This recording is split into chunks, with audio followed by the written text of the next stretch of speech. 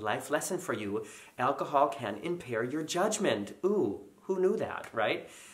Hey everyone, welcome back to the very unofficial travel guides. You know me, I'm Morgan. Today I'm going to tell you the story in front of the red sofa about how I got robbed in Las Vegas.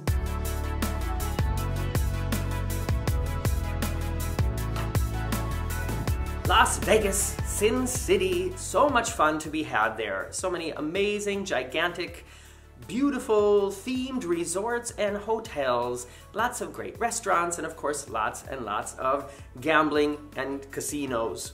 I mean, that's what you think of when you think of Vegas. At least that's what I think of.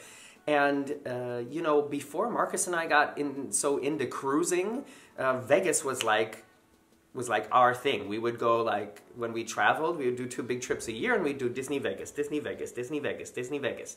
And then we started cruising and now we do Disney Cruise, Disney Cruise, Disney Cruise. And I don't think we've been to Vegas for like four or five years now. I'm trying to think, when was the last time we were there? It's been a while. I could go through and look through the videos. If any of you want to take the time to go through and look through my old videos to let me know when's the last time I posted a video out of Vegas, then write it in the comments below and save me the work, okay? so uh, yeah, Marcus and I have been to Vegas several times, uh, probably six or seven times actually, if not more.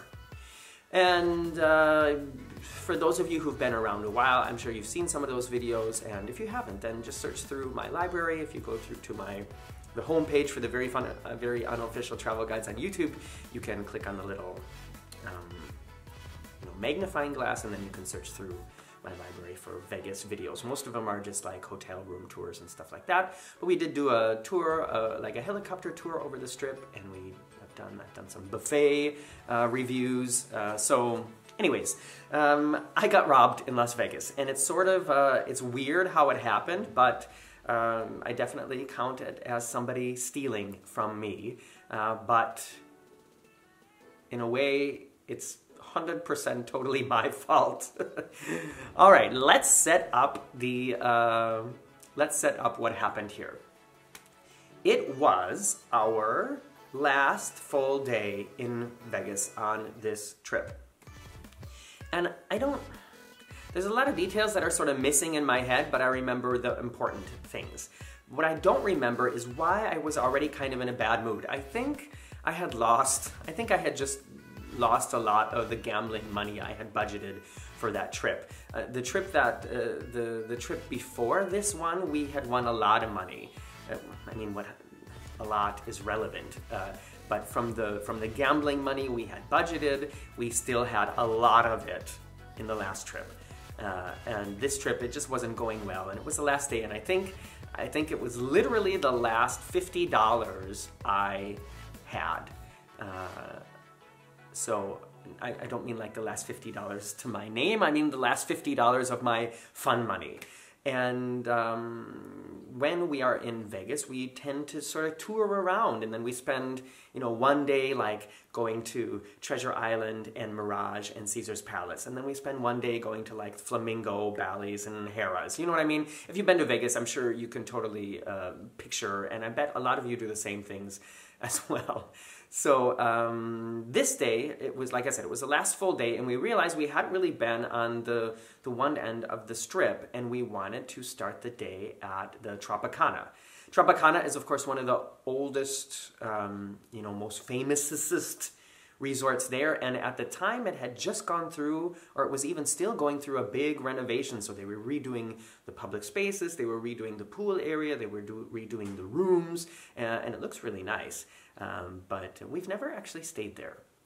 So we went there and we went gambling, and it was early. It was the first place we had gone to that day, and it was probably like, I don't know, 10 30, 11 o'clock in the morning, which for Vegas is early. That's like, that's like you just woke up time usually in Vegas. And uh, we were walking around and we were looking for some machines. We mostly just play the slot machines. Um, sometimes I play uh, blackjack. On the first two times I went to Vegas, I played a lot of blackjack, and I actually won. I, I mean, my I actually stayed above quite a bit. Uh, so, but on this on this day, we were just planning on playing slot machines, and we have this little system that we that we play where we always try to find two machines next to each other that we both want to play, and then we sort of go back and forth, and it makes it more entertaining and it makes the money last longer. It's not just sitting there and pressing and pressing and pressing. Uh, maybe sometime I'll tell you about our system uh, because we find it entertaining. So we found uh, two machines and uh, sat down and started playing, and things were going well. There were, we were getting these, you know, bonus rounds where you have to like interact with the machine. Uh, going off on another tangent here, but I will be getting to the juicy part of the story soon. Uh, for anybody who has not been in a modern casino, Slot machines nowadays are so much more than just like three wheels that mechanically turn and stop. They're like video games. So when you get to like a bonus round or if you get, you know, free spins or stuff like that, um, you, you interact with it and it's like a game and these funny things happen and these surprises happen and things you're not expecting and then you have to pick which color hair the mermaid uh, gets, or you have to uh, pick which uh, pick which record the village people will play for the next dance party, and that defines how many free spins you get and things like that. I mean, it's it's really it can be very entertaining. So uh, yeah, back to the story. We had sat down, and I think we were both playing Star Trek machines. There was some machine that was themed to Star Trek. And uh, relatively quickly after we sat down, uh, one of the cocktail waitresses came by and was like, beer, drink, cocktails, wine, cola, as they always do. Another bit of information for anybody who may have never been to Las Vegas. In Las Vegas, as long as you are playing on the casino floor, slot machines, blackjack, baccarat, uh, roulette, whatever, as long as you are playing on the casino floor, you can drink anything you want for free. They walk around, the waitresses walk around, they ask you what you want, you order it, and they bring it to you, and that's that. You don't have to pay for it. Which is, of course, um, you know, for people who are who are interested in cruising and always get the drink package, you know, going to Las Vegas is like automatically having the drink package. All you have to do is be in the casino. So uh, yeah, we weren't planning on on having a cocktail that early, but because she came to us so quickly, we saw that as, I don't know, a sign. And we decided, uh, because it was early, we would order a pina colada. Um, pina colada, you know, has a lot of cream in it, and it seemed, you know, like a good breakfast drink because we both do not like Bloody Marys, which is a very popular breakfast drink. So, um, yeah, we ordered pina coladas, and she came back quickly, and it was, you know, in a relatively small plastic cup. Um, but then it, they were done very well. So it was like the, the frozen drink, and then it had a little shot of rum on the top of it and a cherry. So, I mean, for a free drink, still done very well. And we sat there and we drank our pina coladas, probably on an empty stomach, and we're, you know, playing with Star Trek. And things were going really well for Marcus on his machine. He had gotten a couple bonus rounds and he was just winning and winning and winning these little jackpots of like $10 or $15. Um, and things were, for me, had gone sort of up and down and up and down. And, and um, I had decided that I didn't want to play on this machine anymore. Uh, so I thought, all right, I'm gonna, you know, play a couple more times, and if I get back down to fifty dollars, then I'm, I'm cutting this machine off and I'm stopping on this machine, and it happened. But Marcus uh, was really enjoying playing the machine he was on, and because, like I said, we have the system where we like to play together, or I guess I'd say I like to play with him together, um, I decided uh, that I would just wait until he decided he didn't want to play on that machine anymore. So I just stopped playing.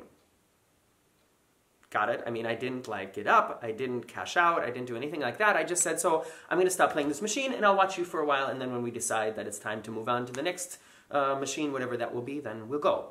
Um, yeah, so we were sitting there, and who came along again but uh, cocktail lady? And uh, of course, we thought, well, if she's here again, we might as well order another pina colada. And here it's, you know, like probably noon, and we probably haven't had any breakfast, and we're on our second pina colada. But you know what? Hashtag what happens in Vegas stays in Vegas until you talk about it on the Sunday sofa time. Anyways, we uh, what I'm trying to say was we had had a little bit of alcohol, and as always, life lesson for you. Alcohol can impair your judgment. Ooh, who knew that, right? I'm sitting there, I'm not playing. Marcus is playing, things are going well. And then eventually he just decides, sometime, you know, through the second pina colada, um, yeah, this machine's getting boring. Let's, let's get up, let's go do something else. So we decide to do that. So we get up and we go walking through the casino and we're trying to find some other machine. And then we hear they make some kind of announcement, I think, that uh, members of the Players Club between uh, 12 and 2 can get you know, something like, you know, 10 free spins just by coming up to the Players Club lounge uh, and, um, uh, you know, signing up or something like that. So we were like, oh, let's go do that. So we walk to the Players Club counter. We're waiting in line for the counter, and then we get up and it's our turn. And she said, All right, so I just need to see your Players Club cards.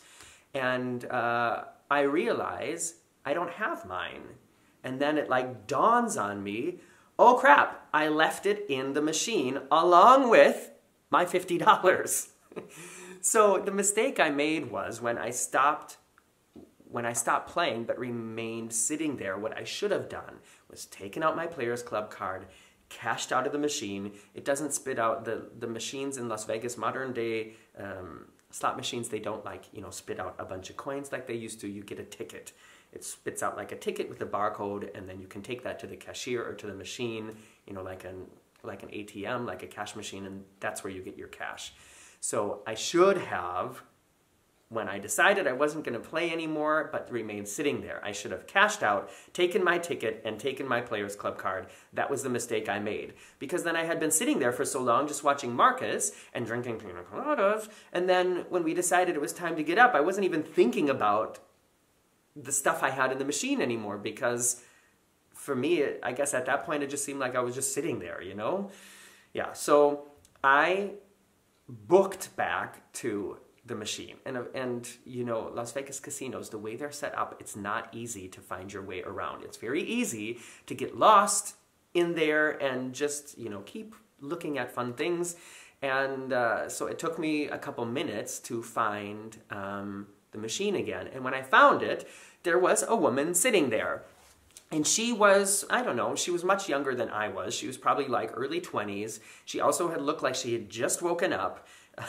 so she had kind of like a messy bun, and uh, even though it was inside, I think she was wearing sunglasses, and she was wearing flip flops, and you know, like some, you know, like some cut off sweatpants shorts or something, and uh, and I realized that my Players Club card had been um, taken out, and it was like like you know just laying on the the thing, and uh, I said, "Oh, excuse me, um, I think I left my stuff in the machine.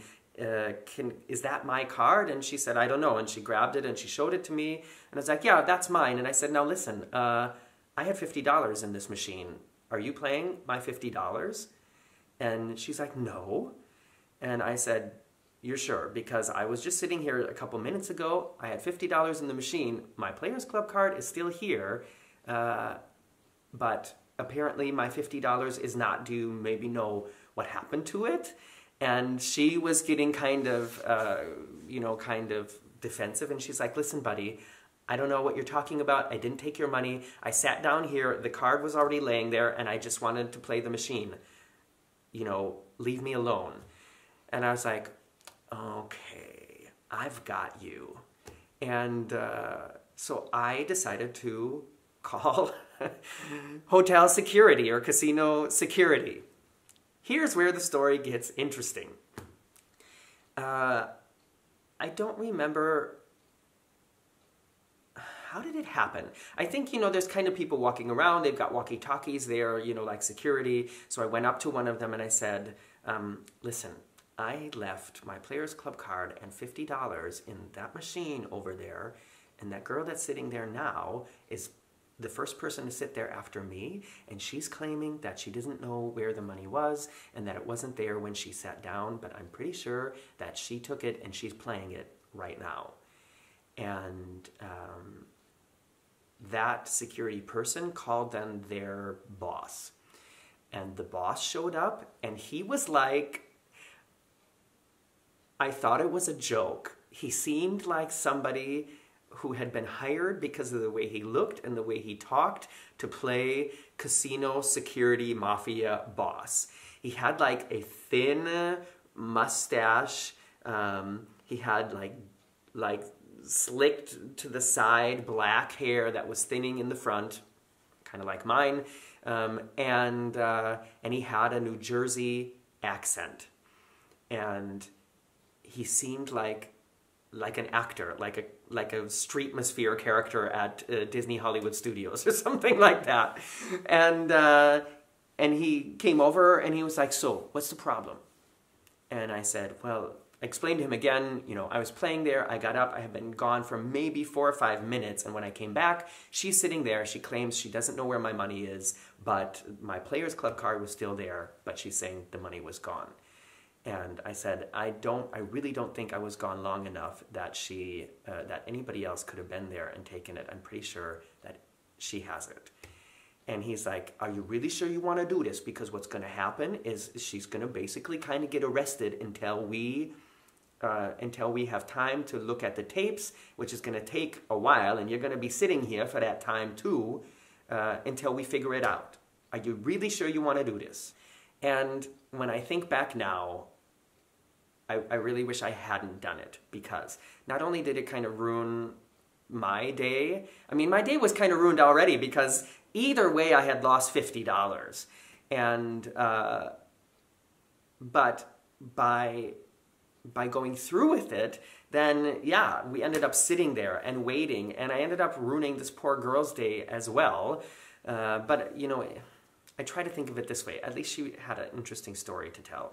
So what happened was um, they went over to talk to her, and she was. Uh, and then she had to stop playing and she had to sit there also and wait with these security people while some while they called somebody else and that person went to the back and watched the security tapes and of course she's looking over at me and giving me dirty looks and i you know what when i think back now i feel so bad and if there's if there's any chance that this girl is watching this um, video please get in touch with me. I'm very sorry.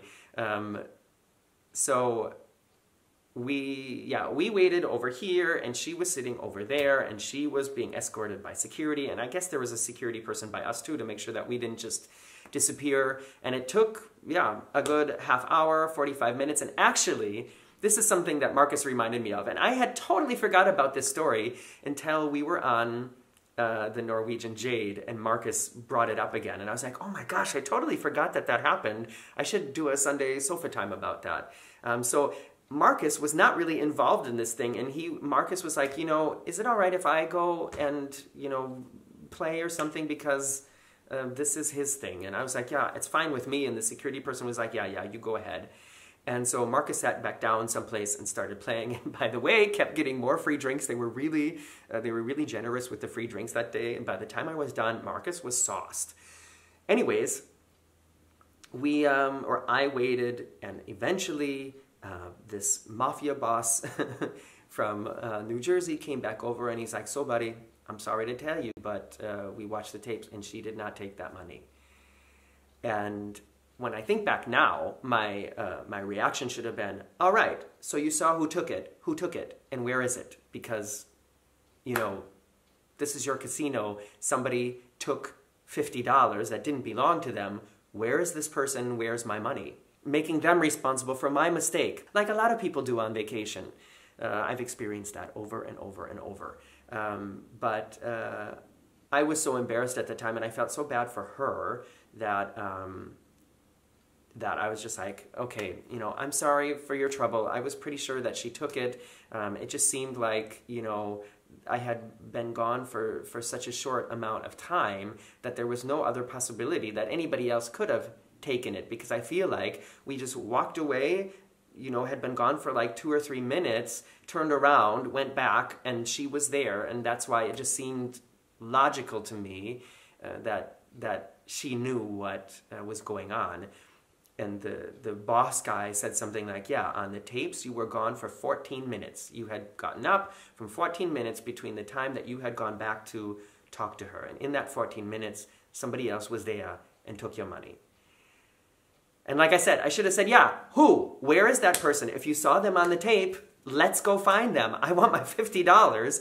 But like I said, I was, um, I was too embarrassed and I was just frustrated at the time and I just wanted to get out of there and forget the whole thing.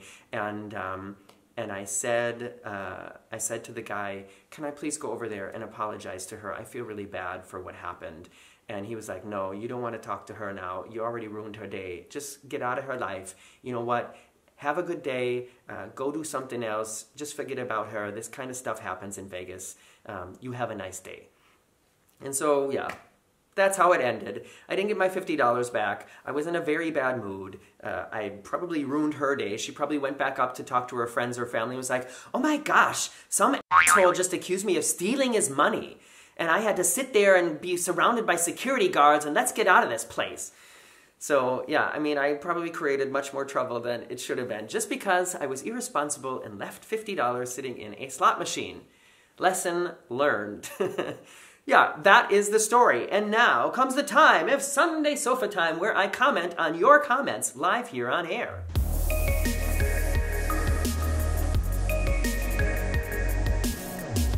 In last week's Sunday Sofa Time, I could not comment on your comments because I was on board the Norwegian Jade uh, cruise ship and I just didn't. Uh, it was all set up differently than a traditional relaxing Sunday sofa time here, so I skipped it last Sunday. But the video uh, that I made was just analyzing this micro cruise that we had been on. It was like literally like 48 hours on a cruise ship.